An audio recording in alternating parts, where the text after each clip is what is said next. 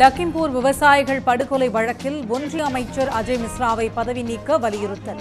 எம்பிக்களின் தொடர் முழக்கத்தால் நாடாளுமன்ற இரு அவைகளும் முடங்கின.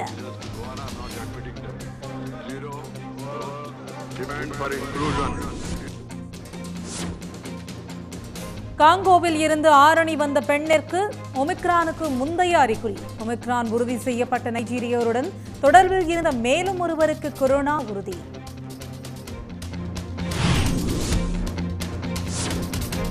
தமிழ்நாட்டில் ஒன்பது பேருக்கு ஒமிக்ரான் அறிகுறி கண்டறியப்பட்டதால் முழுவீச்சு தடுப்பு நடவடிக்கைகள்.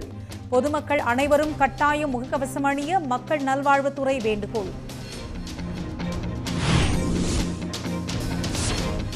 வங்கக்கடலில் நாளை காற்றழுத்த தாழ்வு பகுதி உருவாகிறது. தமிழ்நாட்டில் இருபதாம் தேதி வரை பரவலாக மழைக்கு வாய்ப்பு. தங்கம் விலை சவரனுக்கு இருநூற்று நாற்பது ரூபாய் அதிகரிப்பு. சென்னையில் ஆபரண தங்கம் கிராம் நான்காயிரத்து ஐநூற்று நாற்பத்தைந்து ரூபாய்க்கு விற்பனை.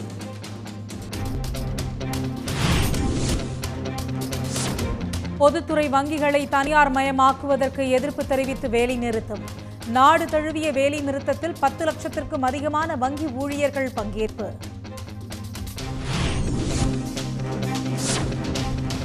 ஆயிரத்து தொள்ளாயிரத்து எழுபத்தி ஒன்று பாகிஸ்தானுடனான போரில் வெற்றி பெற்ற பொன் விழா டெல்லியில் போர் நினைவு சின்னத்தில் பிரதமர் மோடி மரியாதை.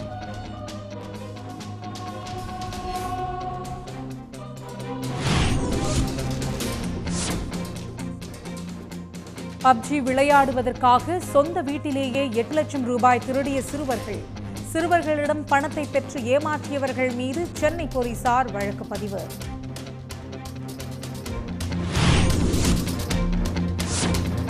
வேலூர் நகைக்கடையில் பதினைந்து கிலோ தங்கம் அரை கிலோ வைரம் கொள்ளை போனது உறுதியானது. கொள்ளை கும்பலை பிடிக்க நான்கு தனிப்படைகள் அமைத்து விசாரணை தீவிரம்.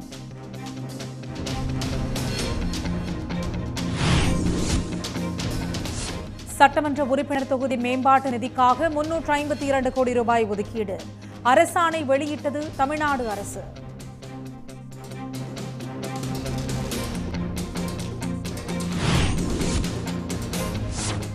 சென்னை கத்திப்பாராவில் நகர்ப்புற சதுக்கத்தை திறர் வைத்தார் முதலமைச்சர் மு ஸ்டாலின். பல்வேறு வசதிகள் கண்கவர் வேலைப்பாடுகளுடன் உருவான நகர்ப்புற சதுக்கத்திற்கு பெரும் வரவேற்பு.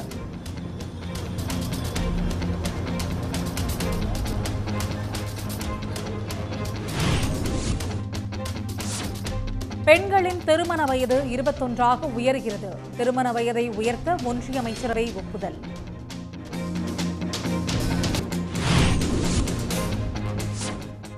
அதிமுக முன்னாள் அமைச்சர் செல்லபாண்டியன் மகன் மீது குண்டர் சட்டம் பாய்ந்தது. ஒரு கோடி ரூபாய் மதிப்புள்ள முந்திரி லாரியை கடத்திய வழக்கில் கைதான நிலையில் நடவடிக்கை.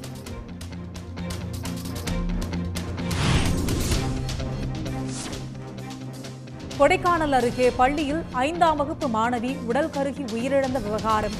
சம்பவம் குறித்து காவல்துறையினர் தீவிர விசாரணை.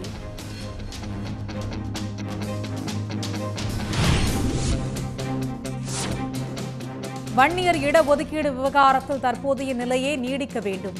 ஏற்கனவே மேற்கொள்ளப்பட்ட நியமனங்களை ரத்து செய்யக்கூடாது என உச்சநீதிமன்றம் உத்தரவு. உடனுக்குடன் செய்திகளை தெரிந்து கொள்ள சன் நியூஸ் பெல் கிளிக் பண்ணுங்க.